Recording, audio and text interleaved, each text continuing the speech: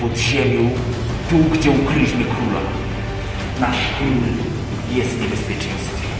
Czarny Morgarat właśnie odkrył naszą siedzibę.